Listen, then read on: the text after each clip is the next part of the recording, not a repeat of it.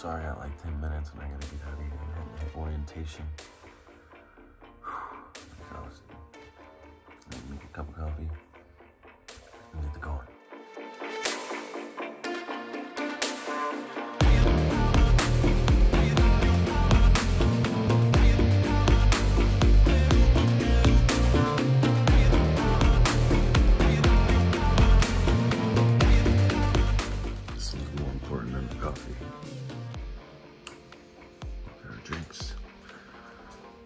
Ready.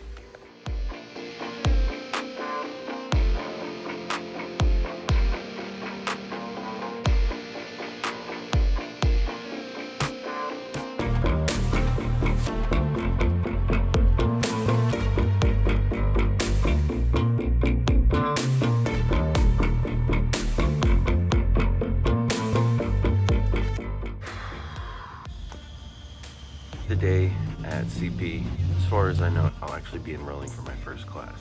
I have done my own research for Central Piedmont. One of the very first classes you're gonna have to take is called Writing and Inquiry 111. I'm not really intimidated by writing classes. We finish this poisonous, wicked habit of mine, and then we're gonna head out of here. All right.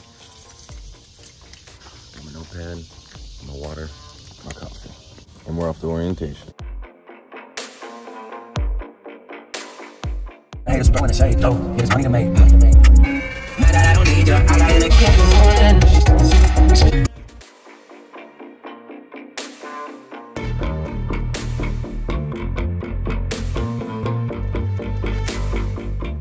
You must be registered for classes for current or upcoming semester to get a new ID card, and you can get your student ID card at any Central Piedmont campus, regardless of where your classes are.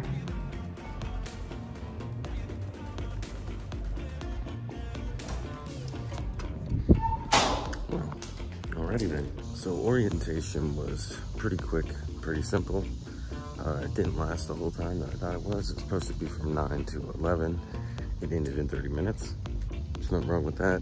I can say that the majority of this stuff that you're gonna have to know, it's really just making sure that you can sign in to your watermark, your My College login. I have to go and make sure that I can get my student ID taken still. I have to set up a meeting with my academic advisor. That was the most important thing I took from today was you definitely have to set up a meeting with your advisor.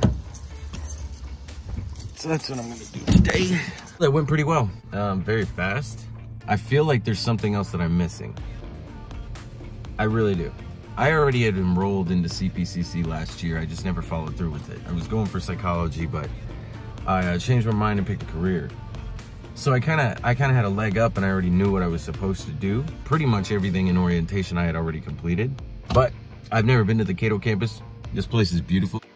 It's not like Central Campus or Levine, but it's a nice campus. This one I think is the business center. If you're getting ready for orientation, check your student emails. Make sure you've got your Brightspace set up, your My College, and your watermark. All those logins need to be set up, ready to go. If you're an adult like me, you probably won't need to send your transcript. I did have a particular situation where I ended up sending my transcript. Uh, I kind of just read what I was supposed to do and did it. And I'm 33 and the school that I graduated from doesn't exist. So you got your GED, just send them that. I did learn about this thing called enrollment verification activity. For every single class, you're gonna have to do this, which I did not know.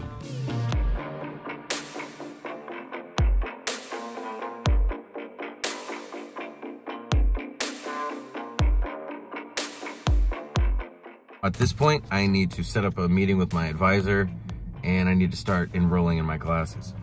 Orientation down. And until next time, ladies and gentlemen, have a blessed one.